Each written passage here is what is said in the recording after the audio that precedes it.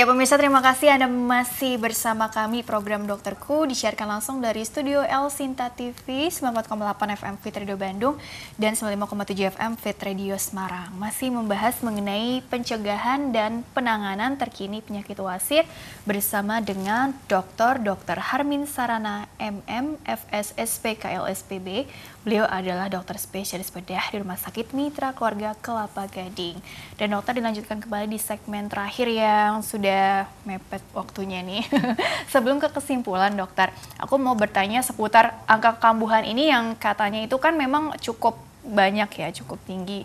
Tadi juga pertanyaan dari Ibu Popi gitu kan juga ternyata setelah pasca melahirkan pun uh, masih sering kambuh-kambuhan terutama ketika uh, pola makannya ini tidak tidak beraturan gitu ya artinya nggak uh, dijaga yeah. gitu ya dok ya jadi memang untuk preventionnya lebih ke pola makannya ini atau ada tadi trigger yang lainnya itu bisa diatasi dengan cara seperti apa tips-tips dari dokter dong Uh, terima kasih mbak Rini saya kira itu pertanyaan menarik tentang masalah kekambuhan hmm.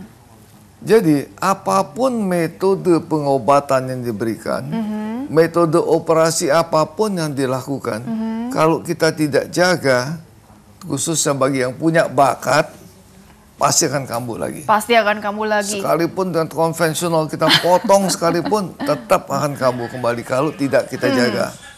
Mau secanggih apa pun Betul. juga gitu ya. Jadi pola hidup, pola makan, pola minum itu saya kira perlu perhatikan. Pola makan, jadi saya ulangi lagi bahwa kita perlu makanan berserat. -hmm. Kalau di Indonesia itu banyak pepaya, pepaya mm. itu bagus sekali untuk supaya lancar buang besar. pepaya tuh ya. Lalu yang tidak suka pepaya mungkin bisa strawberry mm. atau plum mm -hmm. atau uh, makanan-makanan seperti yogurt gitu-gitu juga menolong. Oh, setiap hari ya dok ya? Ya itu juga menolong supaya buang air besar itu lancar. Oke. Okay. Beberapa makanan yang mungkin perlu kita hindari, mm -hmm.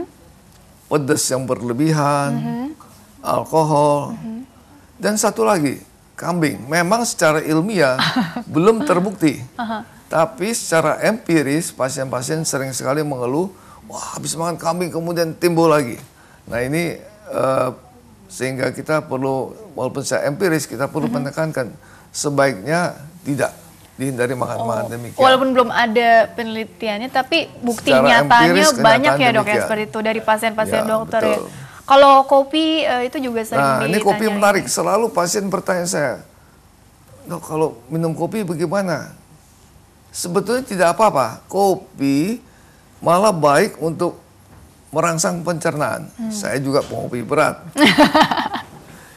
tidak masalah. Hanya kita perlu ingat, kopi itu bisa punya sifat diuretik. Hmm. Bisa banyak buang air kecil. Okay. Akibatnya kita perlu minum lebih banyak. Hmm hanya itu saja. Kopi tidak menyebabkan wasir. Oke. Okay. bukan karena dokter cukup.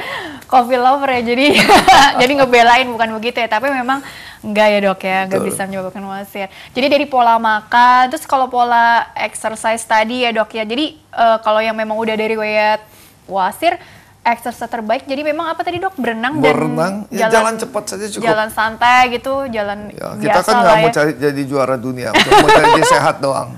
mau jadi atlet kali. Jadi yang high impact itu justru mungkin di, perlu dikurang-kurangin ya dok ya. Ya. Oke, jadi dari pola makan, terus juga pola exercise kalau yang ada riwayat herediter tadi keturunan ya mungkin ya itu yang lebih dijadikan fokus utama begitu ya dok ya. ya Terus juga betul. kebiasaan tadi dok uh, apa duduk terlalu lama atau mungkin yang mengejan terlalu lama, duduk terlalu Terutama, lama di toilet betul. gitu ya dok ya. Jangan lupa juga ya. Tadi dokter sudah sempat singgung juga di segmen-segmen sebelumnya begitu ya dok ya.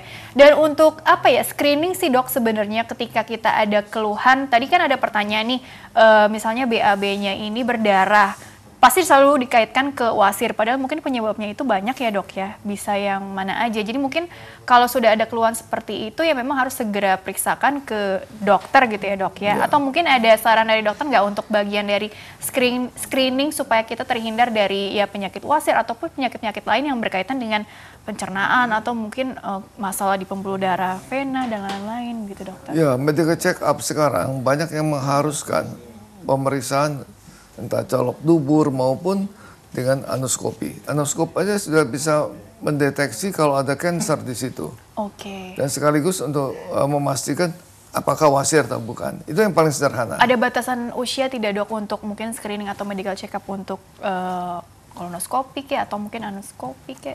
Ya pada dewasa uh, kita perlu. Pada anak-anak wasir itu hampir tidak pernah, hmm. kecuali kalau ada penyakit-penyakit tertentu, ada peningkatan uh, vena porta, itu penyakit-penyakit.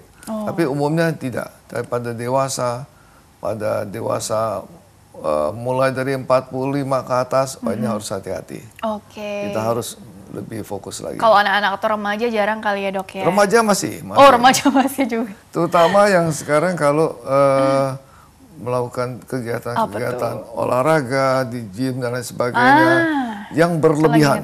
Ah, yang over gitu berlebihan, gitu ya, yang over tidak sesuai dengan yang seharusnya.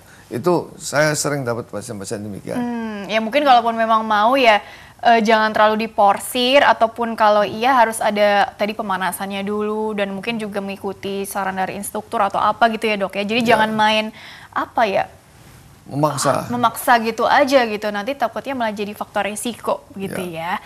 Baiklah dokter, karena memang tadi angka kejadiannya itu tinggi 50% 70% di Indonesia gitu ya dok ya terus di juga dunia. tadi di dunia di dunia bahkan gitu ya jadi bagaimana sih dok untuk kesimpulannya apa harapan dokter juga ke depannya semoga uh, kejadiannya itu juga semakin bisa kita tekan kita turunkan dengan pola yang seperti apa juga silakan dokter closing statementnya mengenai penyakit wasir ya spekulasi assessment saya harus katakan bahwa wasir itu adalah penyakit yang umum ditemukan. Jadi hmm. kalau sekiranya kita menderita wasir, jangan berkecil hati. Bisa diobati. Bisa diobati. Ya, perbaik, tidak selalu harus operasi. Hmm. Perbaikan pola, makan, pola minum dan lain sebagainya. Dan juga kalau memang perlu operasi, sekarang ada metode-metode yang tidak sampai sakit banget banget lah. Mm. Jadi metode-metode malah yang begitu ringan satu hari sudah bisa pulang. Okay. Tapi yang paling penting adalah kita mencegah jangan sampai jadi wasir. Oke, baik dokter. Terima kasih telah berbagi ilmunya di sini. Mudah-mudahan bawa banyak manfaat untuk orang banyak. Sukses selalu untuk dokter dan juga rumah sakit Mitra Keluarga Kelapa Gadingnya ya. Terima kasih. Baiklah pemirsa, terima kasih Anda telah mengikuti program ini. Jangan lupa untuk terus ikuti program Dokterku setiap Senin sampai Jumat. Akhir kata, saya Rini Ayu Ningtyas beserta seluruh kru tugas mohon undur diri dari hadapan Anda. Terima kasih dan sampai jumpa.